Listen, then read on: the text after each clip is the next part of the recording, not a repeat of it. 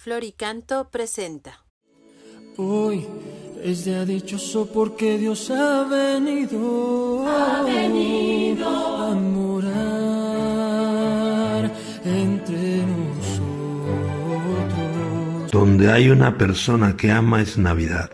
Jueves del tiempo de Navidad. El que ama a Dios que ame también a su hermano. Escuchemos el Evangelio de San Lucas en el capítulo 4, versos del 14 al 22. En aquel tiempo, impulsado por el Espíritu, Jesús volvió a Galilea. Iba enseñando en las sinagogas. Todos lo alababan y su fama se extendió por toda la región. Fue también a Nazaret donde se había criado. Entró en la sinagoga como era su costumbre hacerlo los sábados y se levantó para hacer la lectura. Se le dio el volumen del profeta Isaías, lo desenrolló y encontró el pasaje en que estaba escrito. El Espíritu del Señor está sobre mí, porque me ha ungido para llevar a los pobres la buena nueva, para anunciar la liberación a los cautivos y la curación a los ciegos, para dar libertad a los oprimidos y proclamar el año de gracia del Señor. Enrolló el volumen, lo devolvió al encargado y se sentó. Los ojos de todos los asistentes a la sinagoga estaban fijos en él. Entonces comenzó a hablar diciendo, Hoy mismo se ha cumplido este pasaje de la escritura que acaban de oír.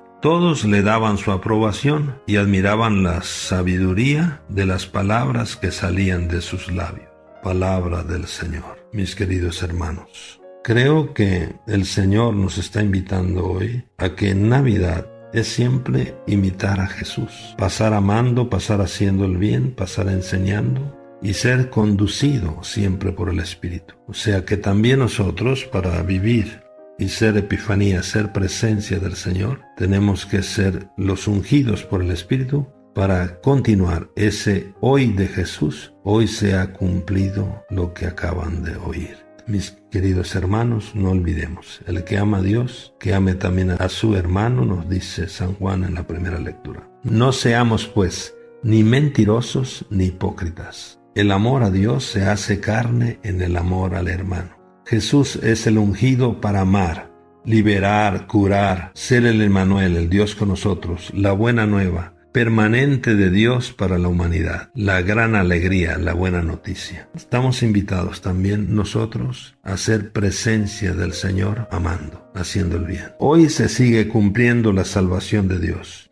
Descubramos, aceptemos y proclamemos el hoy de Dios entre nosotros. Seamos nosotros entonces una buena noticia de vida, de libertad, de gracia y de paz para los que nos rodean. Y así nosotros estaremos proclamando que el hoy del Señor es una realidad, porque también nosotros estamos siendo epifanía, manifestación, presencia de Dios en medio del mundo, porque amamos. Ánimo y sigamos siendo presencia del Señor, su epifanía, a través del amor al hermano. Dios les bendiga y felicidades. Noche santa, noche hermosa, noche de paz, estrella, luz preciosa, ha brillado sobre ti. Florica.